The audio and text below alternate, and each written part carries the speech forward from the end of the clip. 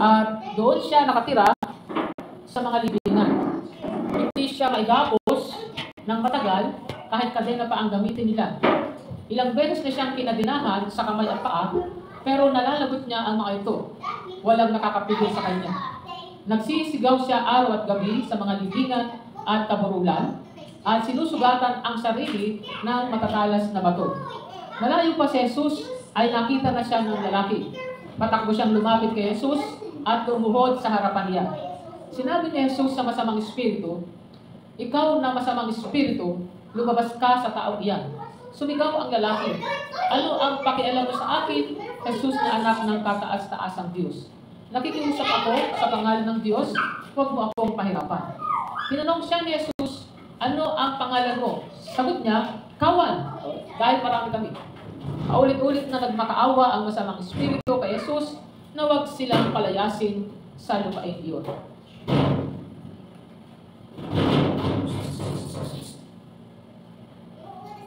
Sa di kalayuan ay may malaking kawan ng mga baboy na nanginginain sa gilid ng gurol. Nagmakaawa ang masasamang espiritu na kung maaari ay payagan silang pumasok sa mga baboy. Kaya pinayagan sila ni Jesus. Lumabas ang masasamang espiritu sa lalaki at pumasok sa mga baboy. Nagtakbuhan ang may dalawang libong baboy pababa ng burol. Nagtuloy-tuloy sa lawa at nalunod. Tumakbo ang mga tagapag-alaga ng baboy papunta sa bayan at ipinamalita roon at sa mga kalapit na yun ang nangyari. Kaya pumunta roon ang mga tao para alamin ang tunay na nangyari. Pagdating nila kay Jesus, nakita nila ang taong dating sinasaniban ng kawan ng masamang espiritu. Nakaupo siya at nakadamit at matino na ang pag-isip. Kaya natakot ang mga tao. Ikinuwento sa kanila ng mga nakakita kung ano ang nangyari sa tao yon at sa mga baboy. Kaya pinag-usapan nila si Jesus nung mali sa kanilang lugar nang sumakay na si Jesus sa bangka. Nakiusap sa kanya ang lalaking gumaling na isama siya.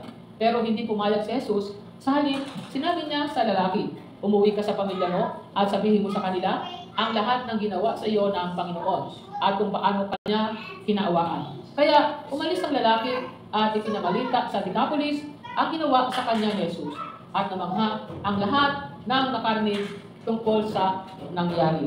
So, nawa po ay dagdag ng Diyos ang pagpapala sa pagkabasa sa kanyang salita.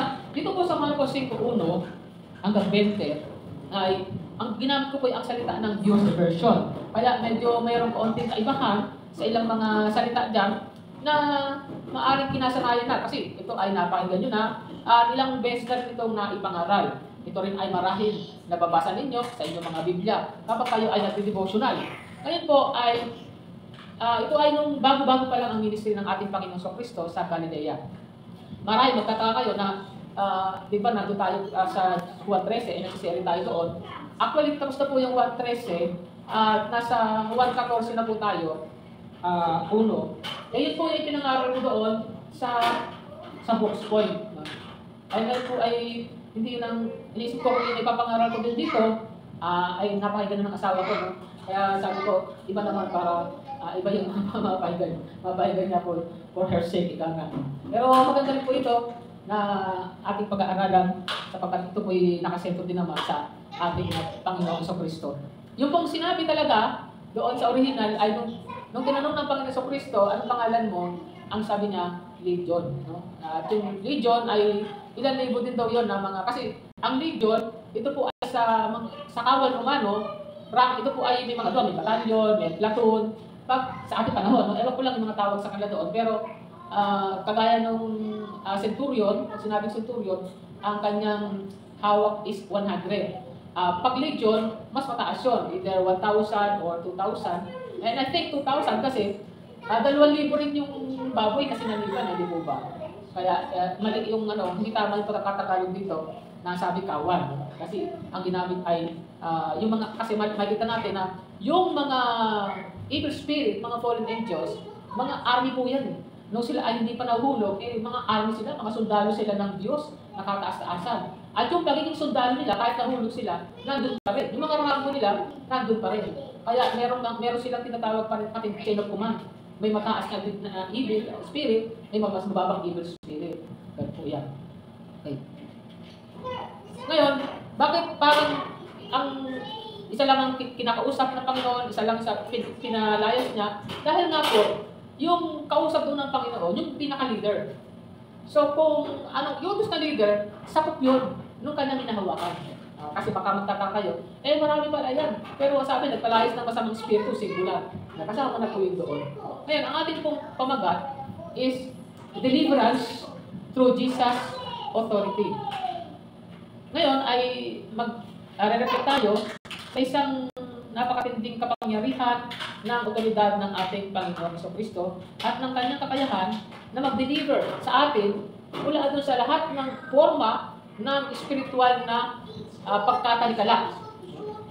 Uh, at kung tayo lalalim doon sa istorya nito, na kung tawagin doon sa lalaki na sinasabihan ay sa English ay gathering demoniac, kasi may demon possession siya at taga uh, siya, tayo ay napapaalalahanan na tinatawag natin transformative power ng deliverance na ginagawa ng ating Panginoong Isus. Kamakailan lamang, ito October, no? ang ating bansa ay kumaharap sa significant challenges mula doon sa devastating impact ng Typhoon Kraton sa international Kraton siya, pero ang pangalan niya ay Julia. Eh, maaring hindi natin po naranasan dito sa Palawan, sapagkat ito ay nakasentro doon sa Northern Luzon.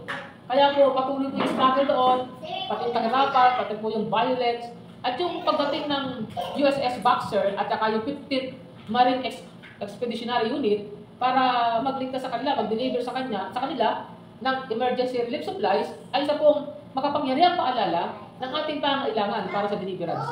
At kailangan natin ng support sa mga panahon ng krisis. Kung paano itong mga relief efforts na ito ay nagdadala ng pag-asa at aid o tulong doon sa mga naapektuhan ng bagyo, ang ating Panginoong Yesus ay nagdadala din ng spiritual deliverance and transformation sa ating mga buhay. Na sa gitna ng mga trials na ito, makikita natin ang kahalagahan ng pagkilala at pagpapakailalim or submitting sa isang mas mataas na otoridad. Ang relief efforts ay patunay dun sa power ng unity and compassion na kasi katulad din ng otoridad ng ating Panginoong Isus na nagdadala ng kapayapaan and restoration sa ating mga nagugulmihan ng mga puso. And as we reflect on these recent events, buksan po natin ang ating mga puso sa mensahe ng deliverance and transformation na inialok sa atin ng ating Panginoong Jesus. Ngayon ay explore natin kung paano ang otoridad ng ating Panginoong Jesus ay nagagawang mag-deliver sa atin mula doon sa mga talikala na nagtatali sa atin at nagtatransform sa ating mga buhay para sa kanyang kalulatian eh ma-encourage nawa tayo sa kwento na ito ng isang gathering demonya na naka-experience ng isang profound deliverance and transformation sa pamagitan ng kapangyarihan ng ating Panginoong Yesus. At naway ma-inspire tayo na hanapin ang deliverance ng ating Panginoong Yesus sa ating mga buhay at ibahagi ang ating mga patotoo or testimonies na nagdadala ng pag-asa sa mga iba. Yan sa, kung tingnan natin po, ang historical context nito, ang pangyayari natin ng doon ginanap, doon sa region na tinatawag na Gerasenes. Ito po ay predominantly Gentile area, hindi po ito mga hindi po ito lugar ng mga Hudyo. At ito po ay nasa uh, silang bahagi ng uh, dalampasigan ng dagat ng Galilee. At ang setting na ito ay significant sapagkat hina-highlight po nito ang ministry ng ating Panginoong Yesus, lampas, no, nag-extend siya doon sa Jewish territories. Kasi mga nagsasabi, ang Panginoon sa Kristo daw, siya ay nag nagministero lamang sa mga Hudyo. Kaya para lang siya sa mga Hudyo at hindi para sa mga Hentil. Hindi po. Nagpunta rin siya doon sa lugar ng mga Hentil. Patunay, doon sa pinuntahan niya, yung lugar ng mga Hentil po yun. Yung uh, Gadarid or Gadara. Or uh, Gergesa kasi hindi na malaman kung ito ba yung Gergesa or Gadara kasi pareho silang nasa uh, sila ng bahagi ng Dalampasigan ng Galilea. Pero mas malamang ito ay uh, Gergesa. Uh, kaya, kasi sa ibang mga salin, uh, Gerasin. Tapos, may mababasa ka version, Gadarin. Uh, kaya siguro yung pagkakamali doon, hindi lang matiyak ng translators kung ito nga ba ay sa Gergesa or sa Gadara. Yung pong presence ng napakalawak na herd ng mga baboy ito nga po yung nag-indicate na ito isang gentle population sapagkat po ang mga baboy, yan po ay kinukonsidera bilang karumaldumal o maruming mga hayop sa batas po ng Hudyo, kaya hindi po sila kumakain ng baboy. Kaya itong uh, detail na ito ay nag, uh, nag-underscore ng cultural and religious differences sa pagitan ng Panginoong Yesus at ng mga local inhabitants doon. Ngayon, sa ating pagbasa kanina, yung verses 1 hanggang 5, ito po yung description ng demon-possessed man's conditions. Yung verses 6 hanggang 10, the man's encounter with Jesus and the demon spirit. At yung verse 11 hanggang 13, the transfer of demons into the pigs and their distractions. At yung verses 14 hanggang 17, the reactions of the people. Panglima, verses 18 to 20, the man's transformation and commission by Jesus. Kaya kung tayo po ay sabihin natin magpapakalalim dito, eh, pwede po kasi natin itong i-divide sa limang preachings. Pero di sa pagkakataong ito, ay overview ko lamang po ito.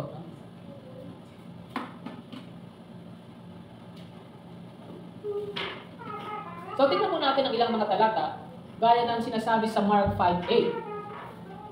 Uh, dito po yung nagpapakilala ng otoridad ng ating Panginoong Jesus over evil spirit. Sabi niya, for he said unto him, Come forth, thou unclean spirit, out of the man. So, ang key message dito, yung command ng ating Panginoong Jesus ay kagyan na sinunod ng mga demonyo.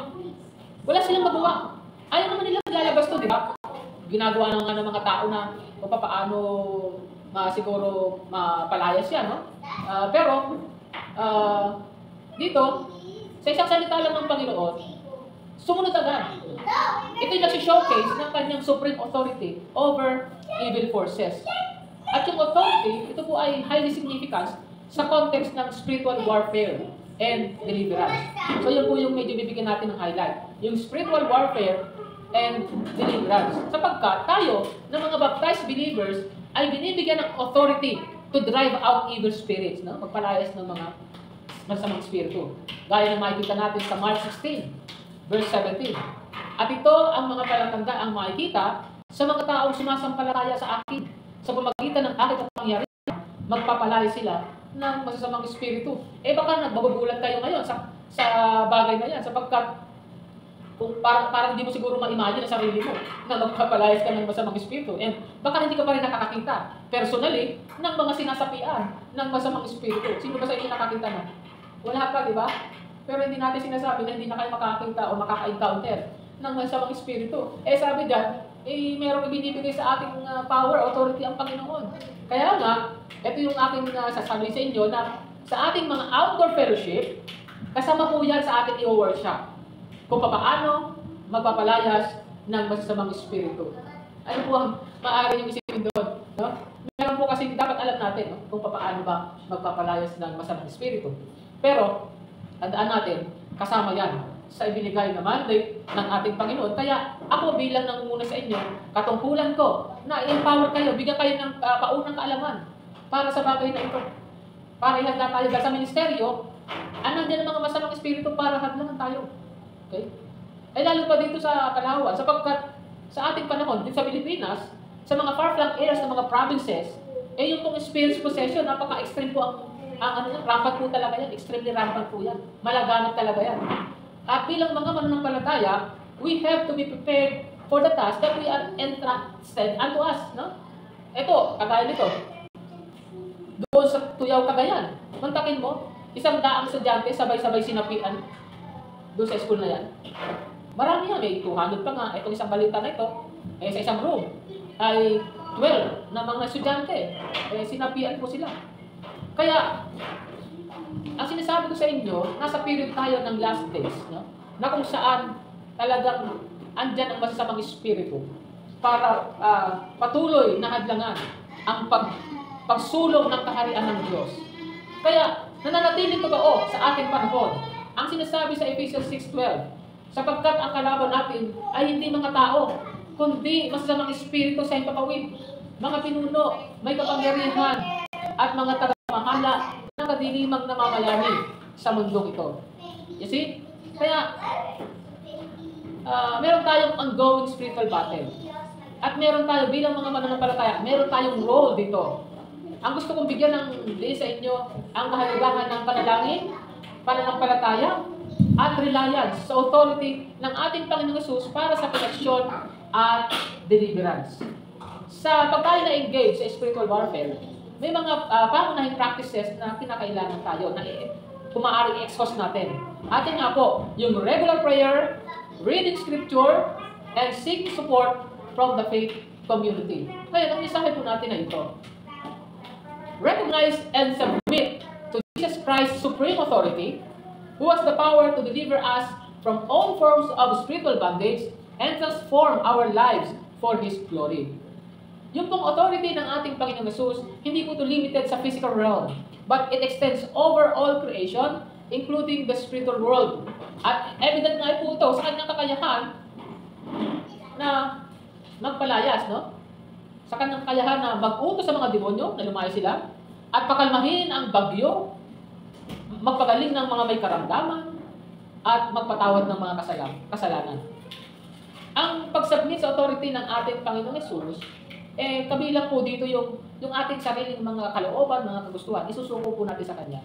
Yung ating mga desires at ang ating mga aksyon. It means trusting His guidance and obeying His commands kahit na meron itong uh, sa atin ay hamon talagang mahirap. Ngayon, ano yung nagiging implikasyon dito mga kapatid?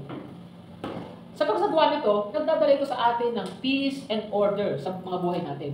At nag-aalay tayo, no? Nag-aalay sa atin ng will ng Lord, ng will niya, at saka will natin nagkakaroon ng alignment. At nagbubukas ng mga pintuan ng mga pagpapala at proteksyon. Ngayon, yung spiritual bondage na kinakailangan tayo magpalaya, ano? palayaan natin sa spiritual bondage ang mga tao na kung hinihingi ng pagkakataon. Ito po kasi nagmamanifest sa iba't ibang mga forms.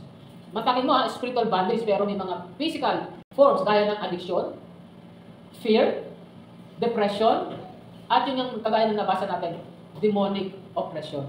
Ito po yung mga areas na kung saan ang kaaway sa kanas ay ito yung ninanais na control. At sa pamagitan naman ito ay siya po ay magwasak ng buhay ng mga tao. Subalit, ang ating Panginoong Yesus, hindi lang po siya nagpapalaya, no? kundi siya ay nagbabago ng mga buhay.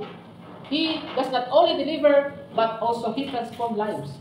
Ngayon, ang transformation, ito po ay nag-involve ng isang radical na pagbabago sa karakter. Behavior, purpose, aligning us with God's will. Kaya po, ang implikasyon nito sa atin, no, yung ating transformation, nag-serve ito as a testimony to God's power and grace.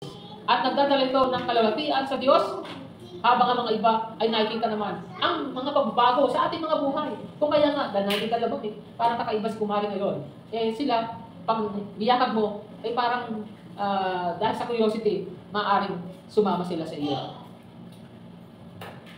Ngayon, ito yung tanong. How can we practically recognize and submit to Jesus' authority in our daily lives? Especially when facing challenges that seem beyond our control. So ito po ang sagot sa atin. Recognizing and submitting to Jesus' authority involves intentional actions and a heart posture of humility and trust. So, balikan natin ang ilang mga talata. Itong sa Marcos 5.6. At pagkatanaw niya sa malayo pesos, ay tumakbo at siya'y kanyang sinamba. Bakasin natin mga kapatid, yung demonyo, sumamba sa ating Panginoon. Bakit? Dahil kilala nila. Kilala nila si Jesus. Alam nilang ito yung Diyos na nagkatawag tao. Kaya nga, sabi sa Santiago, ang mga demonyo man, nananampalataya din, di ba? At nanganginig pa. So, sa, sa kanilang pagsamba, eh, talagang involved yung kanilang buong emotion sa Panginoon. Kaya nga, kung may mabuti man tayo na pwedeng matutunan sa mga demonyo, eh. No? Sila ay sumasamba sa Diyos. Kaya masasabi natin na yung mga tao ay sumamba sa Diyos. Diba? Eh, nadaig pa sila ng demonyo. Uh, kita mo? Ganyan po kahalaga ang uh, pagkilala sa ating Panginoon. Eh, yung pong mga Muslim, yung mga saksi ni Jehovah, yung mga iglesia ni Kristo, ayaw kilalanin na Diyos ang ating Panginoon Jesus. Ito mga demonyo, mga galing sa langit yun eh. Kilala nila ang Panginoon Jesus eh. Uh, Siyempre, sino yung higit na nakakilala at magpapakilala sa ating Panginoon Jesus? Eh, yung kasama niya doon dati sa langit, di ba? Kaya ito po isang patunay natin ng katotohanan na ang ating Panginoon sa Kristo ay Diyos na dapat sambahin. Kaya, kaya nga, merong recognition ng kanyang divine authority. Kaya crucial ito po para sa atin, mga kapatid. And dito naman sa Marcos 5, 7 hanggang 8, sabi dyan, sinabi ni Jesus sa masamang espiritu, ikaw na masamang espiritu, lumabas kang taong Sumigaw ang lalaki, anong pakialam mo sa akin? Jesus na anak ng katas-taasang Diyos. Nakikiusap ako sa pangalan ng Diyos, huwag mo akong pahirapan. You see, ang mga ang mga Muslim, hindi sila naniniwala na si Jesus ay Son of God. Pero naniniwala sila sa jinn. Alam niyo yung jinn sa kanila? Yung mga evil spirits. Alam nila yung katotohanan ng mga evil spirits. Ito mga evil spirit. Kung naniniwala sila sa existence ng evil spirit, nagpapatotoo ang mga evil spirits na si Jesus Christ ay anak ng the Most High God. Ngayon, dito sa verse 8 na ito, ay meron pag-uutos ang Panginoon Jesus sa pure spirit na lumabas to sa tao at sumunod ang spirito. Ito pong act of submission ng spirito, bagamat parang, of course, sa sarili, sa sarili ng masamang spirito, sa kanilang isipan, ano nilang lalabas doon? Pero wala silang magawa dahil inuutos ng Panginoon, kaya parang persado sila. Ito po yung nag-illustrate ng kapangyarihan ng utos no, ng ating Panginoon Jesus. Kaya sa atin, sa aplikasyon sa ating buhay, ito nga po ay ganoon din tayo na umpisahan natin ang bawat araw sa pagkilala sa otoridad ng ating Panginoong Yesus. Paano natin ginagawa yan? Aba, isa panalangin. Manalangin tayo pagkagising sa umaga. At ito po yung magseset ng tone para sa araw na yan. At magpapaalala sa atin ng pagiging soberano ng ating Panginoong Yesus bilang sa Diyos over all aspects of our lives. I-commit natin sa Kanya ang mga gawain natin sa buong maghapon. And as this force of evil submit to Jesus, tayo rin should be willingly submit to His authority in our lives. Ang point lang ito mga kapatid. Jesus has the ultimate authority to deliver us from all forms of spiritual bondage and transform our lives for His glory. Dito sa sa verse 8, balikan natin, na nag-cast out ng maruming espiritu ang Panginoon at merong immediate obedience.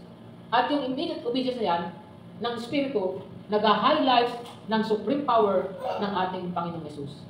Dito sa verse 15, ang sabi doon, Pagdating nila kay Jesus, nakita nila ang taong dating sinasaliban ng kawan ng masamang espiritu, nakaupo siya at nakagamit at matinuna ang pag-isip, kaya natakot ang mga tao. So makita mo, meron complete transformation doon nangyari sa tao. Jesus' deliverance brought him peace and restoration. At nag-showcase ito ng transformative power ng authority ng ating Panginoon Jesus. Kaya nga, sinasabi sa uh, ah, 2 Corinthians 5.17, ang sino mang na kay Kristo ay isa ng bagong nilalang. Wala na ang dati niyang pagkatao, binago na siya. Mayahalin tulad natin to bilang ilustrasyon sa isang mythological story ng Phoenix. Ito po isang ibon na muling isinisila mula sa abo na nagpo-provide sa atin ng powerful illustration. Ayon sa legend, ang Phoenix daw ay nabubuhay for several hundred years bago siya gagawa ng kanyang pugad na yari sa aromatic wood. At pagkatapos, pagsisindihin niya ito, so mag-aapoy at siya ay lalamunin ng liyab. This stage represents the end of an old life. Kagaya din ng kung ano man nararamdaman natin, kapag tayo nilalamon ng ating sariling mga struggles, ng ating mga kasalanan, at spiritual bondage. Mula sa abo, yung susunod dyan, meron isang new phoenix na lulutan, renewed, and more magnificent kaysa doon sa dati. This rebirth symbolizes the deliverance and transformation na dinadala ng ating Panginoon Jesus. Na kung paano nagpanibagong uh, silang ang Phoenix, tayo rin ay nabibigyan ng bagong buhay mula sa kapangyarihan at otoridad ng ating Panginoong Jesus. Kaya nga, dito sa Life Application Study Bible, ay may nakasulat na ganito. The transformation of demon-possessed man who was restored to his right mind and reintegrated into society highlights Jesus' power to bring about complete healing and restoration. This serves as a reminder that Jesus can transform any life no matter how broken. Kaya nga ang sa atin ay ang habol na tanong ay, are you living under Jesus' authority? Well, kung hindi pa, eh, pag-reflect ka gawin mo na mapailalim ka sa otoridad ng ating Panginoon Kristo. Sa paano paraan? Una, daily acknowledgement umpisahan mo bawat araw sa linggo na ito by acknowledging Jesus' authority in your life. Gaya na sinabi ko sa inyo kanina, spend a few minutes in prayer, specifically recognizing His power over all aspects of our life. Kaya, ang pwede mong gawin dyan is, halimbawa, isulat mo yung ano bang area sa buhay mo na sa palagay mo yung nangangailangan mag-submit ka more fully sa otoridad ng ating Panginoon Jesus. And pray for strength and guidance to surrender this area to Him. Next is, share your testimony. Nakita natin yan na uh, inutos ng Panginoon doon sa lalaki na sinapian, napalaya na siya. No? Kaya ikaw din, share a testimony of how Jesus has delivered or transformed you with at least one person this week. Kaya, ang bilang action mo is ganito. Mag-identify ka ng kung sino man na maaari mag-benefit kapag siya nakakapakinig ng yung story, yung life story mo. It could be a friend, family member, or even a colleague. I-share mo kung paano ang otoridad ni Jesus ay gumawa ng pagbabago sa iyong buhay. Okay? At pangatlo, share, uh, engage in spiritual warfare. Engage in spiritual warfare. Maging vigilant ka in recognizing and combating spiritual oppression in your life. Baka meron ng uh, demonic oppression dyan na hindi mo alam, kala mo ikaw lang yon. And of course, sa buhay ng mga iba, baka may kasama ka, kasabahay, kakilala, or kaibigan na nakaranas ng spiritual oppression. So, commit to praying daily for protection. Yan ang action na gagawin mo.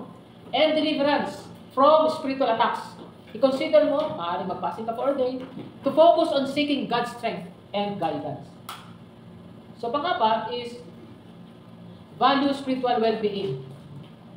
Ang challenge, dyan, ang challenge dyan is ito, prioritize your spiritual health over material concern this week. Ang action na pwede mo magawa ito, identify one material concern na nag, nagpapabigat sa iyo. No? At gumawa ka ng isang conscious effort or conscious decision to trust Jesus with this concern. Okay? And mag-focus ka sa spiritual growth.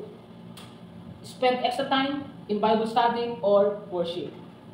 Panglima, support and encourage others. Ang challenge dyan is yung pagsuporta sa someone else na nasa kanilang spiritual journey. Ang action na pwede mong gawin dyan ay reach out to a fellow believer na maaari nakaranas ng struggle at mag-offer ka ng panalangin uh, para sa kanya. Mag-share ka ng encouraging scriptures or simply makinig ka sa kanyang mga concerns. Kumbaga ay be a source of support and encouragement. Kaya sa pagsasagawa mo ng mga challenges nito, ay maaari mo mapalalim ang iyong pakunawa at karanasan ng paumuhay sa ilalim ng otoridad ni Kristo, witnessing His power to deliver and transform lives for His glory. Gaya ng, pwede natin example, uh, si Nicky Cruz. Okay? Dito sa Mark 5.120, to encounter na yung story ng gathering demonia, a man possessed by a legion of demons, living among the tombs, isolated and tormented. Yung encounter ni Jesus sa kanya, ito po isang powerful na patotoo o patunay ng transformative power ng ating uh, Panginoong Jesus. Ngayon, at uh, bukod dyan is yung kanyang ika nga ay kapangyarihan ng pag-ibig ng Diyos at ang kanyang pagtutubos. Kaya sa similar story ng isang real life story ni Nick Cruz, siya po isang modern day illustration ng ganitong divine intervention. Si Nicky Cruz ay dati siyang kinatatakutang gang leader sa New York City noong unang panahon. Siya po ay namuhay ng isang buhay na puro violence at krimen. Uh, nagaya ng isang taong sinasapian. Si Nicky po ay, kumbaga siya ay parang merong, sabihin natin, spiritual na talikala ng hatred no? at despair. Pero, uh, siya po ay, ang Panginoong Jesus, kung paano ang Panginoong Jesus, di ba? Bag, ano ba ginawa niya? Paano niya napalayas yung, yung ano, masamang spirito na legion? Tumawid ang Panginoong sa dagat para rescue yung demoniac. Ngayon din, nangyari kay Nicky Cruz, nag-reach out ang Panginoon through the ministry ni David Wilkerson. At during na isa sa mga evangelistic rallies ni uh, Pastor David Wilkerson, si Nicky ay nakaramdam ng isang powerful conviction at nag-decide siya na isabit ang kanyang buhay kay Jesus. Kaya kayong mga pampalo niya, oh, pinagpalit niya sa, uh, binigay niya kay uh, David Wilkerson panahon niya. And he confessed his sins and asked Jesus to take control of his life. Kaya nga, ma Maningas yung panalangin ni Nicky for deliverance from his violent tendencies and the influence of his past. Kaya humingi siya ng suporta kay David Wilkerson at sa mga kasama nito na mga mananampalataya sa pamagitan ng panalangin for deliverance eh, nasagot ang kanyang nais. Uh, sapagkat naranasan niya ang isang talagang sense of peace and freedom mula sa kanyang uh, nakaraan. Kaya yung pong buhay ni Nikki, ito po ay uh, talagang radikal yung pagkatransform. Iniwan niya yung gang at siya nagpasimulang mabuhay ng isang buhay na dedicated sa paglilingkod sa Panginoong Jesus. At nagpatuloy siya sa pag-aaral ng Biblia. Siya po yung naging preacher and sharing his testimony sa mga iba. Yung si David Wilkerson na ginamit ng Panginoon, nagpakita ng talagang uh, ika ngay, hindi magkamayo ng pag-ibig at hindi no, lumilipas na pananampalataya. Iyon po ay sumasalamin sa compassion ng ating Panginoon Jesus.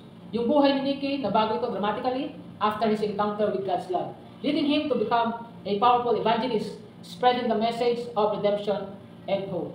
Kaya yung dalawang kwentong yan, nagpapaalala sa atin na no one is beyond the reach of God's grace. Tinuturuan nito tayo na ano man ang naging nakaraan natin, ano man ang struggle natin, ang Panginoong Jesus ay nag-aalok ng isang daan patungo sa kagalingan at restoration.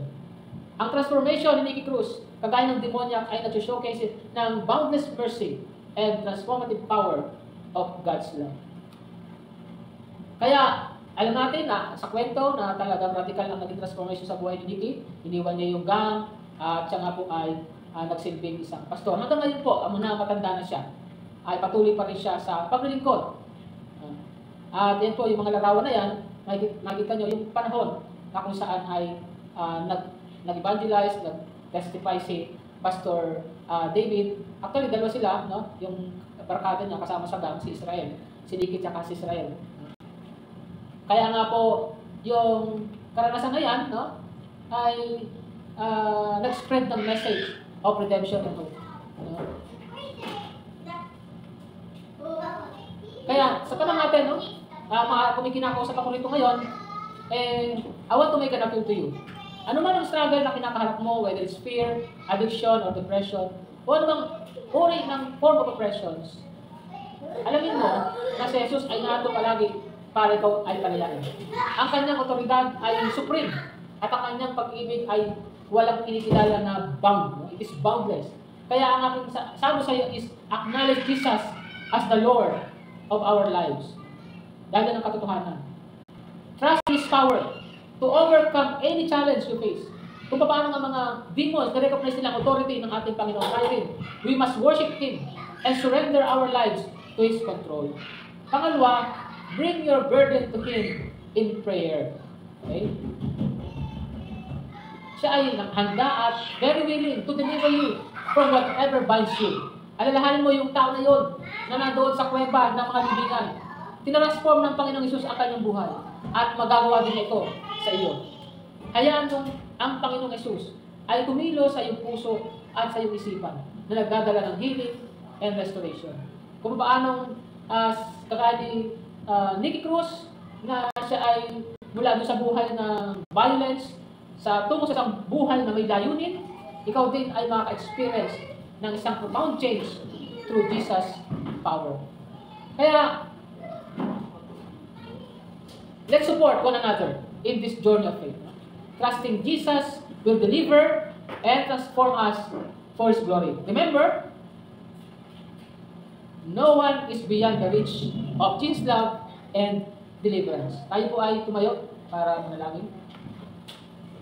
Heavenly Father, kami po ay umaharap sa inyo na mayroong pagpasalamat sapagkat kinikilala namin, O Diyos, ang inyong mataas na otoridad at boundless love sa amin. Salamat po sa isang powerful reminder ngayon doon po sa ability ng aming Panginoong Jesus to deliver us from all forms of spiritual bondage and transform our lives para po sa inyong kalulatian. Lord, nire-recognize po namin na may mga areas sa aming mga buhay na kinakailangan ng inyong pong pag-deliver. We submit ourselves to your authority. Trusting sa iyong kapangyarihan na kami mapalaya mula sa takot, sa addiction, sa depression, at anumang uri ng mga talikala na nagtatali sa amin. Kung paano, O Diyos, na dineliver mo po yung tao na yun sa region ng Gerasids, we ask for an intervention sa aming mga buhay ngayon. Father, we pray for the courage na yakapin namin yung transformation na inaalam mo sa amin. Tulungan mo po kami na ilet go po namin ang aming mga past at kami makbang sa isang panibagong buhay na inihanda mo po para sa amin. Nawa po ang aming mga buhay ay maging patotoo ng iyong kahabagan at ng iyong kapangyarihan. Nagdiliwanag na parang isang beacon ng pag-asa sa mga nasa paligid namin. Kaya po, we ask for the strength na makapag-share kami ng aming mga testimonies. May proklama namin ang mga dakilang bagay na ginawa mo po para sa amin. At gamitin ang aming mga kwento to inspire and encourage others upang sila po ay mahikayat na mailapit po sa inyo. At ganun po, at kami, bag, sa paghayo po namin, mula po sa lugar na ito, nawa po ang iyong presensya ay mag- maging kasama namin. Punuin po kami ng iyong ah, ah, peace, guide po kami ng iyong wisdom, at empower po kami ng inyong spirito. Kami po ay tumitiwala sa inyong unfailing love at nag-look forward kami, Panginoon, sa patuloy na pagkilos na gagawin mo po sa aming mga buhay. In Jesus' mighty name we pray. Amen.